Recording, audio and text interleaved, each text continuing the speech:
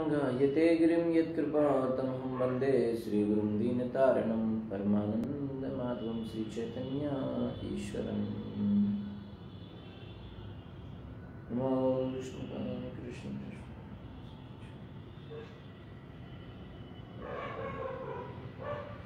Hare Krishna welcome to Shrimad Bhagavatam class we are discussing हम लोग श्रीमद् भागवतम स्कंद चार अध्याय तीस पे चर्चा कर रहे हैं। कल हमने श्लोक संख्या नौ पर बात किया था। ठीक है, आठ और नौ। आज हम दसवें श्लोक से आगे करेंगे। श्री भगवान प्रचेताओं को संबोधित कर रहे थे। कल उन्होंने प्रचेताओं से कहा था कि वो प्रचेताओं से बहुत प्रसन्न है। क्यों प्रसन्न है? क्योंकि उनके आपस में, उनके परस्पर मित्रतापूर्ण व्यवहार को देखकर भगवान बहुत प्रसन्न है और भगवान कहते हैं कि मैं उनका कल्याण चाहता हूँ और मैं, और वो लोग प्रचेताओं से कहते हैं कि तुम जो चाहो वो मुझसे वरदान मांग लो। ठीक है? आगे, भगवान कहते हैं कि जो तुम लोगों का संध्या के समय स्मरण करेगा, वो समस्त जीवों के प्रति मैत्री भाव रखेगा। ठीक है?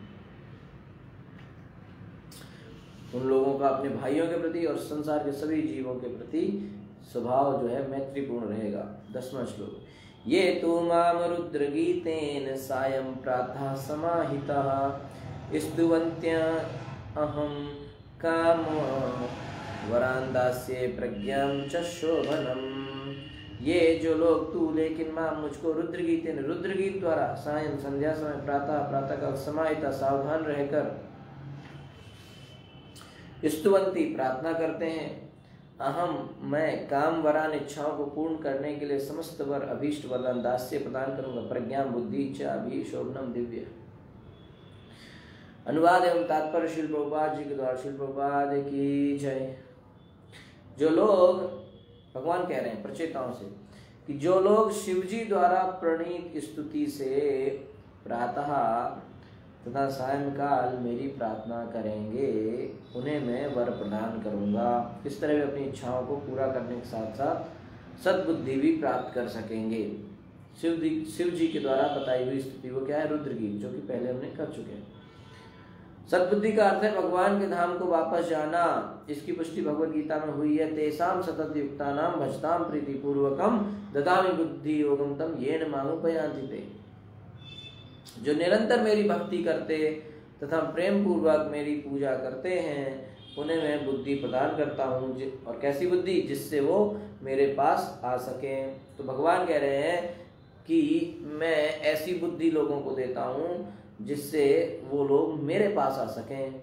लेकिन ऐसी बुद्धि किन लोगों को देते हैं? उन लोगों को देते हैं जो लोग क्या करते हैं? तेसाम सतत युक्ता नाम भजताम। जो लोग भजता माने जो लोग भजन करते हैं, जो लोग भक्ति करते हैं, श्रवण, कीर्तन हरि नाम की चर्चा करते हैं हरि नाम का कीर्तन करते हैं, कृष्ण कथा करते हैं, जो लोग कृष्ण की भक्ति करते हैं, उनको। लेकिन कृष्ण की भक्ति कैसे करते हैं? सतत युक्ता नाम बहुत ही दृढ़ निश्चय होकर, है ना?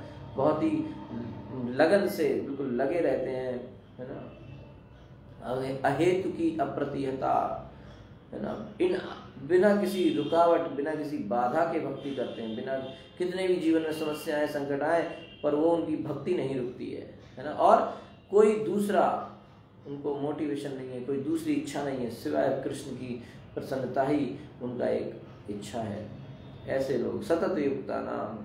हमेशा और बड़ी दृढ़ निश्चय के साथ सतत युक्ता नाम क्या करते हैं? भजता लेकिन बड़ी निश्चय के साथ और बड़े मेहनत लगातार करते तो हैं भक्ति, लेकिन भाव कैसा होता है? प्रीति पूर्वकम प्रेम पूर्वक भक्ति करते हैं। है ना? प्रेम पूर्वक जो भक्ति करते हैं, उनको भगवान कह रहे हैं, मैं ऐसी बुद्धि देता हूँ जिससे वो मेरे पास आ सके। जो अपनी विविध इच्छाओं की पूर्ति के उद्देश्य से भगवान की प्रार्थना करता है। उसे यह जान लेना चाहिए कि इच्छा की चरम पूर्ति भगवान के धाम को वापस जाना है। सबसे बड़ी इच्छा, सबसे शुद्ध, हम जो चीज़, सबसे बढ़िया चीज़ जो भगवान से हम ले सकते हैं, वो क्या ले सकते हैं? कृष्ण के पास जाना, कृष्ण के धाम को जाना, कृष्ण से प्रेम करना, कृष्ण की सेवा में लगना। इस श्लोक में इंगित किया गया कि जो राजा प्राचीन परिषद के पुत्र प्रचेताओं के कार्यकलापों का स्मरण करता है, उसका कल्याण और उद्धार होगा। अतः राजा के उन पुत्रों के लिए क्या कहना जो भगवान से प्रत्यक्ष जुड़े हुए हैं? परंपरा पद्धति की यही रीति है। जो परंपरा में जो जुड़े हुए हैं, उनका यही फ़ायदा है। यदि हम आचार्यों का अनुसरण करते हैं तो हमें अपने पूर्ववर्तियों जैसा लाभ प्राप्त होता है। यदि कोई अर्जुन के निर्णयों का अनुसरण करता है तो समझो कि वह भगवान से सीधे भगवत गीता सुन रहा है। प्रत्यक्ष भगवान से भगवत गीता सुनने तथा अर्जुन जैसे महापुरुष का, जिसने पहले भगवान के मुख से सुनी थी, अनुसरण करने में कोई अंतर नहीं होता। चाहे साक्षात कृष्ण से सुने या उनके जो प्रमाणिक प्रतिनिधि हैं, गुरु हैं, उनसे सुने। है ना? एक ही बात है। कभी कभी मूर्ख लोग तर्क करते हैं कि इस समय कृष्ण उपस्थित नहीं है, इसलिए उनसे प्रत्यक्ष उपदेश प्राप्त नहीं किया जा सकता। अभी कृष्ण तो है नहीं तो कैसे हम भगवदगीता समझें? ऐसा कुछ लोग बोलते हैं, जो कि मूर्ख हैं। ऐसे मूर्ख ये नहीं जानते ऐसे मूर्ख यह नहीं जानते कि भगवत गीता के प्रत्यक्ष सुनने तथा इसके पढ़ने में तब तक कोई अंतर नहीं है जब तक इसे उसी रूप में स्वीकार किया जाए जिस रूप में से भगवान ने कहा था। Bhagavad Gita Yatharup as it is तो जैसा भगवान ने कहा, उसी रूप में स्वीकार कर लेंगे। तो भगवान कृष्ण से डायरेक्ट भगवत गीता सुनना या पढ़ना एक ही बात है। क्योंकि यदि कोई अपनी अधूरी विवेचना से भगवत गीता समझना चाहता है तो यह भगवत गीता के रहस्यों को नहीं समझ सकता। भले ही लौकिक दृष्टि में कितना ही बड़ा विद्वान क्यों ना हो। बहुत बड़ा ग्रामर का पंडित होगा, बहुत बड़ा विद्वान होगा, लेकिन वो अपनी बुद्धि लगा के भगवत गीता समझना चाहेगा तो कभी नहीं समझ सकता। बिना गुरु कृपा के वो भगवत गीता समझ ही नहीं सकता। यूयं पितु आदेशम् अग्रिहिष्ट, अग्रहिष्ट मुदा अन्विता, अथो वा उष्टि कीर्तिर्लोकाननु भविष्यति। यद चूँकि यूयम तुम लोगों ने पितु पिता की आदेशम आज्ञा अग्रहिष्ट श्रोधार की है। मुदा अन्विता अत्यंत प्रसन्नता पूर्वक अथो अतः वाह, तुम्हारी उष्टि, आकर्षण, कमनीय, कीर्ति, महिमा, लोकान, अनु, सारे ब्रह्मांड भर में भविष्य संभव सकेगी फैल जाएगी। चूँकि तुम लोगों ने अपने अंतकरण से प्रसन्नता पूर्वक अपने पिता की आज्ञा, अत्यंत श्रद्धा पूर्वक श्रोधार्य की है और उसका पालन किया है तब तुम्हारे आकर्षक गुण संसार भर में सराहे जाएँगे। चूँकि जीव भगवान का भिन्नांश है पार्ट एंड पार्सल अतः उसे थोड़ी सी स्वतंत्रता प्राप्त है। क्योंकि जीव कृष्ण का अंश है इसलिए भिन्न अंश है, इसलिए उसको भी थोड़ी स्वतंत्रता प्राप्त है। कभी कभी अल्प बुद्धि व्यक्ति पूछते हैं कि सभी प्राणी भगवान के अधीन में हैं, किंतु मनुष्य को कष्ट में क्यों रखा जाता है?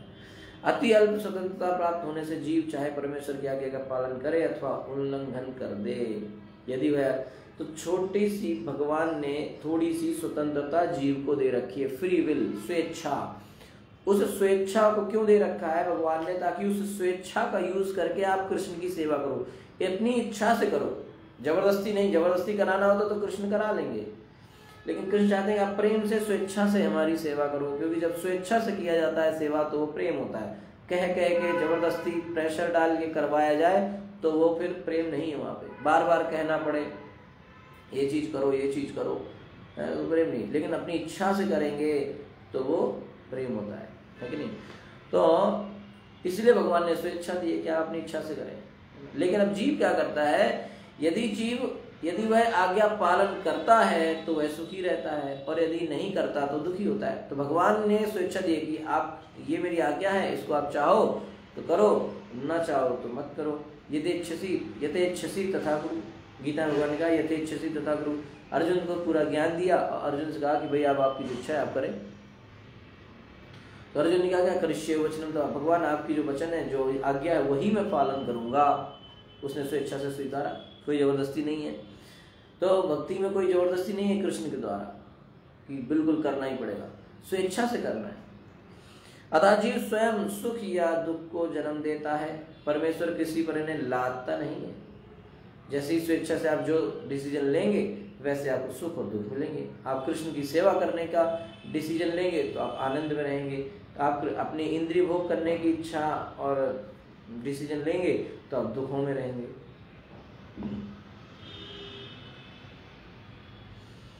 परमेश्वर ने प्रचेताओं की प्रशंसा की, क्योंकि उन्होंने अपने पिता की आज्ञा श्रद्धा पूर्वक श्रद्धार की थी। फलता भगवान ने राजा प्राचीन परिषद के पुत्रों को आशीर्वाद दिया। तो उन्होंने, भगवान ने राजा प्राचीन परिषद के पुत्र प्रचेताओं को बहुत ही अच्छा आशीर्वाद दिया। भविता विश्रुता पुत्रो, नमो ब्रह्मणो गुणई या एतात्म वीर्येण त्रिलोकीम पूरयिष्यति। भविता होगा। विश्रुता अत्यंत प्रसिद्ध पुत्र पुत्र अनुपम न्यून नहीं ब्रह्मणा, ब्रह्मा से गुण गुणों में यह जो एताम यह सब आत्मवीर्येण अपनी संतति से त्रिलोकीम तीनों संसार को पूर्यति पूर्ण कर देगा। तुम सबको एक उत्तम पुत्र प्राप्त होगा।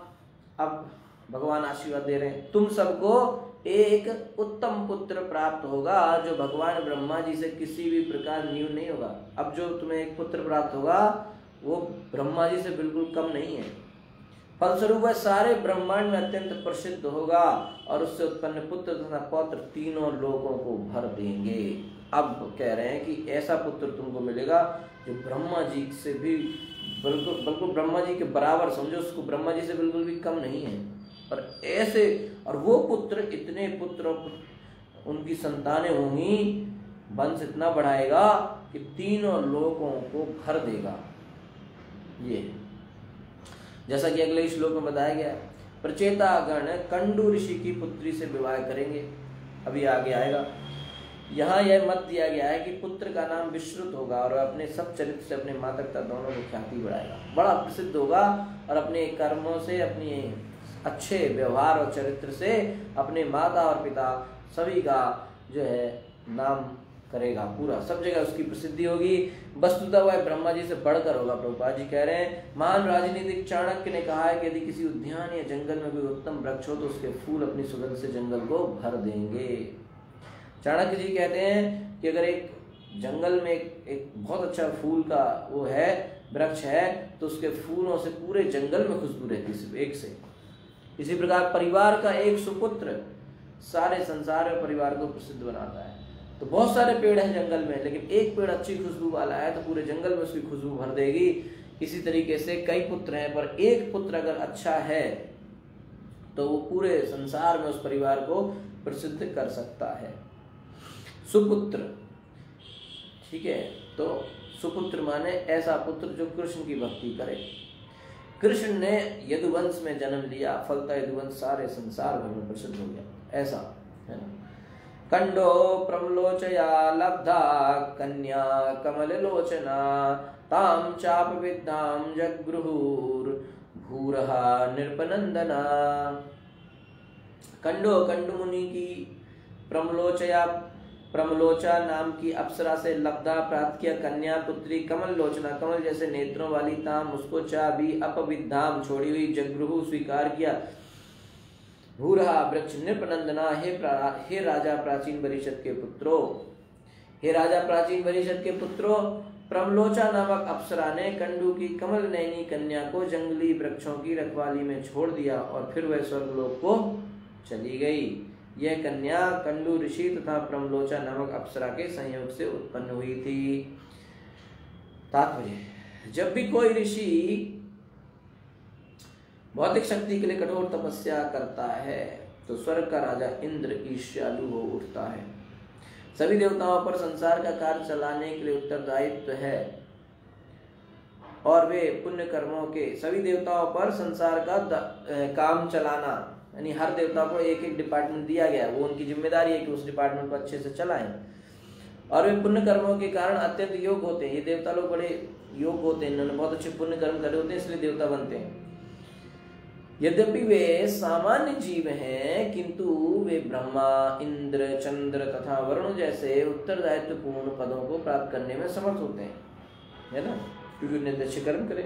है वो सामान्य जीव, लेकिन वो अच्छे कर्म करने की वजह से इन बड़े बड़े पोस्ट पर भी पहुँच जाते हैं। जैसा कि संसार की रीति है, स्वर्ग का राजा स्वर्ग का राजा इंद्र किसी भी ऋषि के द्वारा कठोर तपस्या करने पर ईश्वरा करने लगता है। उनको ईश्वरा लगती कि आगे क्यों बढ़ रहा है? यह सारा संसार ऐसी ईर्ष्या से पूर्ण है, जिससे प्रत्येक व्यक्ति अपने पड़ोसी से भयभीत रहता है। सारा जगत में यही चल रहा है। ईर्ष्या ईर्ष्या ईर्ष्या तो भयभीत रहते, डरते लोग, है ना? ईर्ष्या की वजह से। कोई पड़ोसी अगर ज़्यादा बढ़ रहा है तो उनको डर लगने लगता है। भय ईर्ष्या होने लगती है। क्योंकि यह संसार समस्त प्रकार के ईर्ष्यालु व्यक्तियों का कर्म क्षेत्र है। यहाँ पर सारे लोग ईर्ष्यालु हैं। सभी को एक दूसरे से ईर्ष्या तभी तो इसी जगह में ईश्वर नहीं है। कोई ये नहीं कह सकता कि हमारे अंदर ईश्वर नहीं क्योंकि ईश्वर नहीं है तो संसार में कैसे आ? गया है कि नहीं? जब तक ईश्वर रहेगी, हम यहीं रहने वाले हैं। एक दूसरे से जलन हो रही है, हम यहीं रहेंगे। ठीक है?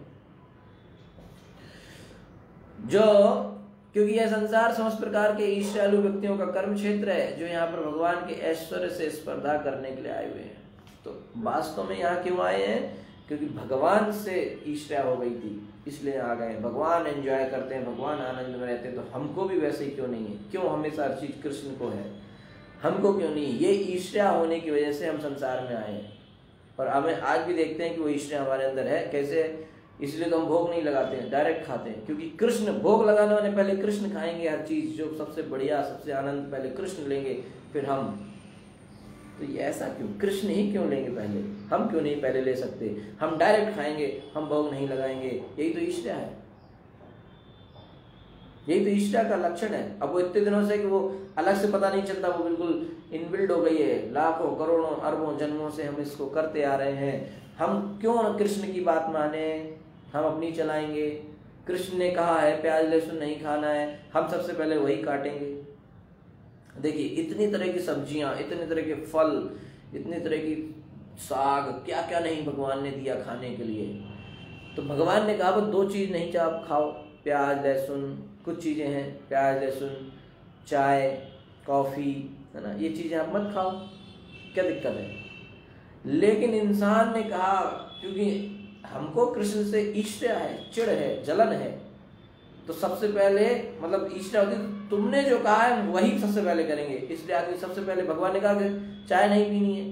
तो ये आदमी सबसे पहले सुबह उठता है और कहता तुमने जो कहा है, हम वो सबसे पहले, जो तुमने मना किया है, हम वो सबसे पहले करेंगे। सबसे पहले चाय। सुबह उठते ही सबसे पहले चाय पीता क्योंकि उसको सिद्ध करना है कि कृष्ण, मेरी बात तुमसे ज़्यादा है। तुम कुछ नहीं हो, मैं सब कुछ हूँ। तुमने कहा है कि हम इसको नहीं करना है तो मैं इसको ही सबसे पहले करूँगा। ये लो। सबसे पहले चाय पीऊँगा। खाना बनेगा तो सबसे पहले क्या काटूँगा? प्याज, क्योंकि कृष्ण ने मना किया कि प्याज नहीं खानी है, लेकिन वो सबसे पहले प्याज देख, मैं मैं, तुमने मना किया ना, मैं देखो सबसे पहले यही करूँगा, ये लो। ये उसकी चिड़ है है ना? कभी भी खाना बनेगा, सबसे पहले आदमी प्याज काटता है। सब्ज़ी जब भी बनेगा, सबसे पहले प्याज उठाता है। हर चीज़ में डलती है। एक ऐसा इंग्रेडिएंट है जो सब में डलता है, क्योंकि वो कृष्ण ने मना किया है। और हमें कृष्ण से ईश्वर है, हमें कृष्ण से चिड़ है, वो जो मना करेंगे, वो ही हमने करना है। इसलिए हमें भौतिक जगत में हमेशा रहना है, इसी दुखों में भटकना है। क्योंकि जब तक हम कृष्ण की इच्छा के हिसाब से नहीं चलेंगे, तब तक हम यही भटकते रहेंगे। क्योंकि वहाँ आध्यात्मिक जगत में उन्हीं को जगह मिलती है, जो कृष्ण की इच्छा के अनुरूप चल सकते हैं। और जो कृष्ण की इच्छा के अनुरूप चलता है, उसे ही ब्रजवासी कहते हैं। ब्रज शब्द का अर्थ यही है। कृष्ण की इच्छा के हिसाब से चलना, अपने जीवन को कृष्ण की इच्छा के हिसाब से मोड़ना, है ना? क्योंकि कृष्ण ने कहा, भाई, ये नहीं करना है तो हमें सबसे पहले वही करना है तो हम कैसे भक्ति में कर पाएँगे? है ना? तो अगर आप संसार के किसी भी कोने में रहते हैं, किसी भी कोने में, ऑस्ट्रेलिया, अमेरिका, लंदन, न्यूजीलैंड, किसी भी कॉन्टिनेंट में रहते हैं, कहीं भी रहते हैं अगर आप अपने जीवन को कृष्ण की इच्छाओं के हिसाब से मोड़ लेते हैं, कृष्ण की इच्छाओं के हिसाब से आप चलते हैं गुरु की, कृष्ण का प्रतिनिधि कौन? गुरु शिल प्रभुपाद। उनकी इच्छाओं के हिसाब से चलते हैं, उनके नियमों के हिसाब से चलते हैं तो आप किसी भी कोने में रहें, आप ब्रजवासी हैं। आप ब्रज में वास कर रहे हैं, क्योंकि आपने अपने जीवन को कृष्ण की इच्छाओं के हिसाब से मोड़ लिया है तो आप ब्रजवासी हैं। है नहीं? तो यही जीवन का यही तो करना है, क्योंकि लोग अक्सर वही गलती करते हैं कि जी ये तो हमारी फेवरेट चीज़ है इसको तो हम खाएँगे है ना? रूपा जी ने कहा है कि नहीं खाना है लेकिन हम तो खाएँगे क्योंकि हमको चिड़ है कृष्ण से ईश्वर्या है है ना? तो उस ईश्वर्या की वजह से हम लोग आपस में लड़ते हैं झगड़ते हैं ईश्वर्या की वजह से। है ना? तो यही यहाँ पर प्रभुपाद जी इस श्लोक में हमें समझा रहे हैं, ठीक है? कि सारा संसार ईर्ष्यालु व्यक्तियों का कर्म क्षेत्र है। सारे कृष्ण से ईर्ष्या करके इस भौतिक जगत में आ गए हैं और अब आपस में भी ईर्ष्या कर रहे हैं। इसलिए तो भगवान कह रहे हैं कि, अरे प्रचेता हो तुमने आपस में बड़े प्रेम से भक्ति करी है, मिलजुल के भक्ति करी है, इसलिए तुम लोगों को जो है कोई भी, मैं इसलिए तुम लोगों से प्रसन्न हूँ, क्योंकि तुम लोगों के बीच में कोई भी ईर्ष्या नहीं है। तुम लोगों ने कोई लड़ाई नहीं करी। लड़ाई कब होती है? जब ईर्ष्या होती है, तुम क्यों आगे बढ़ रहे हो? तुम्हारे पास ये सब चीज़ें क्यों आ रही हैं? मेरे पास क्यों नहीं आ रही हैं? मेरे पास है, लेकिन तुम्हारे पास क्यों आई? मैं अपने दुख से दुखी नहीं हूँ, मैं तुम्हारे सुख से दुखी हूँ। ये ईश्वरा है। किसी को कोई चीज़ मिल गई, हमको नहीं मिल रही है। नो प्रॉब्लम तो आप दुखी हो। लेकिन व्यक्ति के पास है ऑलरेडी मेरे पास है। लेकिन उसको क्यों दे रहे हो? मतलब मेरे पास है या नहीं है, इससे कोई मतलब नहीं। उसको क्यों मिल रही है? इससे चिड़ है। ये ईश्वरा का लक्षण है। उनको क्यों? उसको कोई प्रमोशन मिल रहा है। उसको क्यों मिल रहा है? उसका घर बड़ा बन गया। उसका क्यों बन गया? तो ये ईश्वरा हम उसकी दूसरे की उन्नति को, दूसरे के फ़ायदे को देख के हमें प्रॉब्लम हो रही है। ये ईश्वरा है। और जब तक ये ईश्वरा है, तब तक भगवान से कोई कनेक्शन ही नहीं बन सकता। है कि नहीं? इसलिए यहाँ पर बड़ा ध्यान से समझने वाली बात है। इस प्रकार प्रभुपा जी आगे लिख रहे हैं कि इस प्रकार इंद्र कंडू द्वारा संपन्न कठोर तपस्या से अत्यंत भयभीत था। बड़ी ईष्टा हो जाती, कोई आगे बढ़ रहा है, क्यों आगे बढ़ रहा है? और उसने उसके व्रत तथा तपस्या को खंडित करने के लिए प्रमलोचा को भेजा। अब वो आगे बढ़ रहा है, उन्नति कर रहा है तो उसको खत्म करेंगे, उसकी उन्नति को रोकेंगे। उससे, उसकी उन्नति से हमें कोई फ़ायदा, नुकसान नहीं है। लेकिन फिर भी ईश्वर इतनी है कि वो क्यों आगे बढ़ रहा है? तो हम उसको रोकेंगे, कई तरह के उपाय करेंगे कि वो आगे ना बढ़ पाए। यही तो ईश्वर है। जब तक ये इस तरह का लक्षण हमारे अंदर रहेगा हम भक्ति नहीं कर सकते। हमको भगवत गीता समझ में नहीं आएगी, हमको भागवत समझ में नहीं आएगी। है ना? क्योंकि भागवत क्या है? निर्मत सराणाम सताम। जिनके अंदर ईश्वर जलन है, जो जलते हैं दूसरों से, उनके लिए भागवतम नहीं है। निर्मत सराणाम सताम। उनको पहले ही अध्याय में अलग कर दिया, तुम लोग बाहर जाओ। जिन जिन के अंदर ईश्वर जलन है, वो लोग बाहर जाओ। वो लोग भागवत नहीं समझ सकते। कृष्ण ने भी कहा है भगवत गीता में अर्जुन से कि जिन लोगों के अंदर ईश्वर है, वो इसको नहीं समझ पाएँगे। इसलिए अर्जुन, क्योंकि तुम्हारे अंदर ईश्वर नहीं है, इसलिए तुम इस भगवत गीता को समझ सकते हो, इसलिए मैं तुम्हें बता रहा हूँ। बाकी लोग नहीं समझ सकते। पढ़ लो पूरी। पढ़ तो लेंगे, लेकिन उनको समझ में नहीं आएगी कि भागवत कह क्या रही है, गीता कह क्या रही है। है कि नहीं? ऐसी ही घटना विश्वामित्र के साथ भी घटित हुई थी। शास्त्रों की अन्य घटनाओं से ऐसा प्रतीत होता है कि इंद्र सदा से ईष्टालु रहा है। जब राजा पृथु इंद्र से बढ़कर विभिन्न यज्ञ संपन्न कर रहा था तो इंद्र अत्यंत ईर्ष्यालु हो उठा और उसने राजा पृथु के यज्ञ में गड़बड़ी मचाई। इसकी व्याख्या पिछले अध्यायों में की जा चुकी है। इंद्र को कंडू ऋषि का व्रत भंग करने में सफलता प्राप्त हुई, क्योंकि ऋषि प्रमलोचा नामक अप्सरा की सुंदरता से मोहित हो गया और उससे कन्या को जन्म दिया। यहाँ पर इस कन्या को कमल लहनी तथा अत्यंत सुंदरी कहा गया है। अपने उद्देश्य में सफल होकर प्रमलोचा नवजात शिशु को वृक्षों की निगरानी में छोड़कर स्वर्ग लौट गई। सौभाग्यवश वृक्षों ने शिशु का पालन पोषण करने की सहमति दे दी। ओके तो वो अप्सरा उस संतान को वहीं छोड़ के चली गई वृक्षों की देखभाल में। ठीक है? ओके तो फिर उसी कन्या से आगे जाके जो है इन प्रचेताओं का विवाह होता है है ना? तो उसकी कथा कल हम करेंगे। ठीक है? Hare Krishna thank you so much शिल्पवाद की जय। ग्रंथराज, भागवतम की जय। अनंत कोटि वैष्णव की जय।